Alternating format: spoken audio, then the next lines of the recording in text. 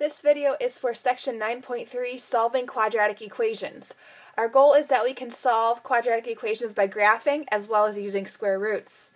So let's review what standard form is of a quadratic equation. It is in this form ax squared plus bx plus c, and the other side is equal to 0. So that's important. We're going to be setting things equal to 0 today. The solutions of a quadratic equation are the x-intercepts. These are also called roots or zeros. So please take note right now that x-intercepts, roots, and zeros are all known as the solutions of a quadratic equation. Now where are these located on the graph? I will show you. These points right here in the green, those are the x-intercepts, aka roots or zeros. Basically, um, when these values are plugged in or substituted into the quadratic equation, you result in zero. So it should make sense to you that they are on the x-axis where y equals zero on that axis. To solve this specific example, x squared minus 4 equals 0, you can just graph it by using an xy chart and then plotting those points. And the x-intercepts are 2 and negative 2. If we were to plug those values in, 2 squared minus 4 equals 4 minus 4, which equals 0, so that works. And negative 2 squared minus 4 is the same thing. 4 minus 4 equals 0. So that confirms that these two points right there, the x-intercepts, are the solutions of a quadratic equation. So first, let's graph.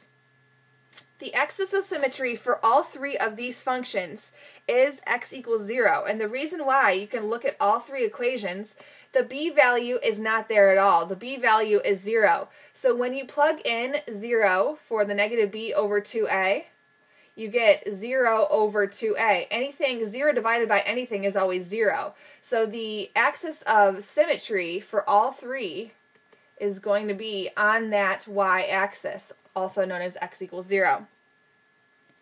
Now, this makes it nicer because the b is 0. That means it's centered on the y-axis, and this is the y-intercept right there, so negative 1. So we can plot that, negative 1, and then to figure out the rest of the points, well, you can make an xy chart if you like.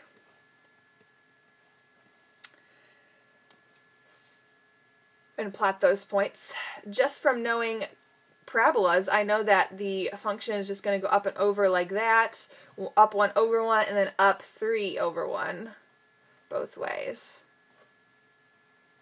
And you can confirm that when you plug in the values right here, the y values match. So we have 3, 0, negative 1, 0, and 3. So the question was, what are the solutions of each equation? Remember, solutions are x-intercepts. Well, this first graph crosses through negative 1 and positive 1. So there are two solutions.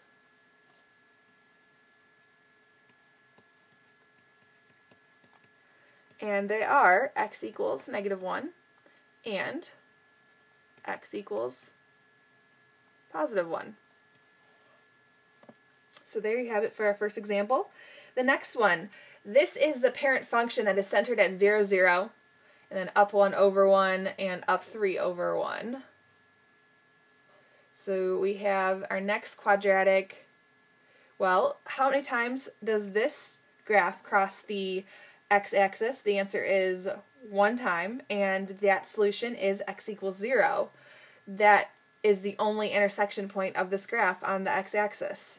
There is one solution, and that is x equals 0. Now the next one starts at positive 1, that's the y-intercept, and then goes up 1 over 1 and up 3, so off the graph.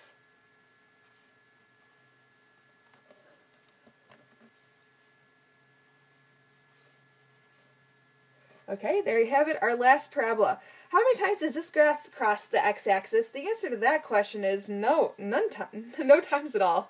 Um, there are no solutions to this graph, so that's what we're going to say is there are no real number solutions.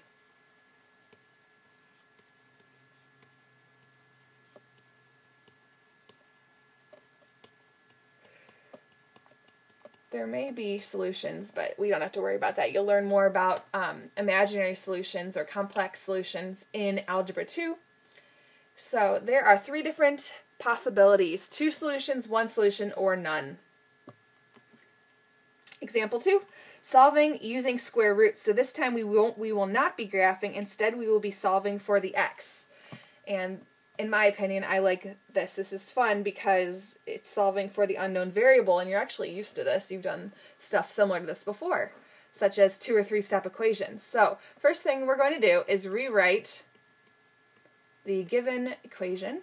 The whole goal is to isolate the x squared on one side of the equation. That means get the x squared by itself. So first we want to move the 75 over. So now we have 3x squared equals 75. We need to get rid of that 3 in front.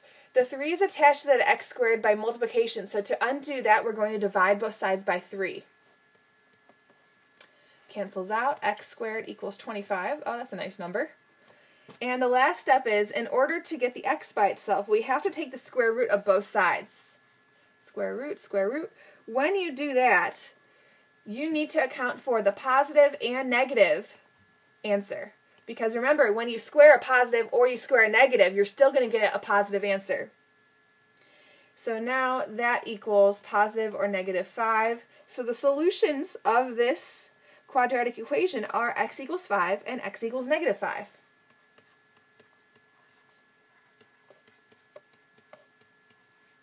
And remember to check your answer, like always, you could just plug those numbers in for the original equation and it should work. Okay, here is a real life application problem about an aquarium.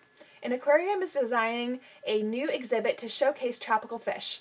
The exhibit will include a tank that is a rectangular prism with a length L that is twice the width W.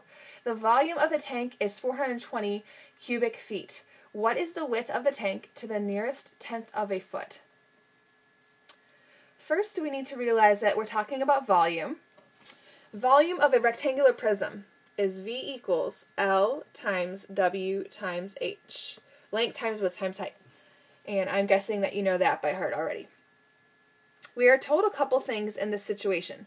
We are told that the volume is 420. So immediately what I want to do, I guess I'll write the givens over on the side and then immediately just plug them in like that. We are also told that the length L is twice the width W. So the way that I'm going to write that is L equals 2W. Length is twice the width. That's the formula form of that word sentence there. And then one other thing that we're told, oh, in the picture, we're told that the height right here is 3. So now, let's plug all that in. L is going to go, it's going to be replaced by the 2W. L is going to go right where the, sorry, I'm saying it backwards. The 2W is going to go where the L is. The W is going to come down, and the H is going to be replaced by 3. Take a moment to let that sink in. The good news is with all this substituting, we only have one variable now. That was the whole point. Before we had three variables and it was getting overwhelming. Now we just have one variable. Okay, what I did in that step, I just put the 3 in front and then I combined the w's. Hopefully you're, you're alright with that. 420 equals 6w squared. Now this is looking really familiar and similar to the previous problem. We want to get the w by itself, so divide both sides by 6, and that means we get 70 equals w squared. We must take the square root of both sides. so that means, I'm just going to move over here, plus or minus square root of 70 equals w. Remember, when you take the square root, you always want to put the plus or minus symbol in front. And the last thing is, type that in and see, w is approximately positive or negative 8.4. So now let's think about that for a second. Positive or negative 8.4 for the width. Does it make sense to have a positive width or a negative width? it only makes sense to have a positive width. So that means the tank, the tank of this aquarium for the tropical fish will have a width of about 8.4 feet. So now let's write that down.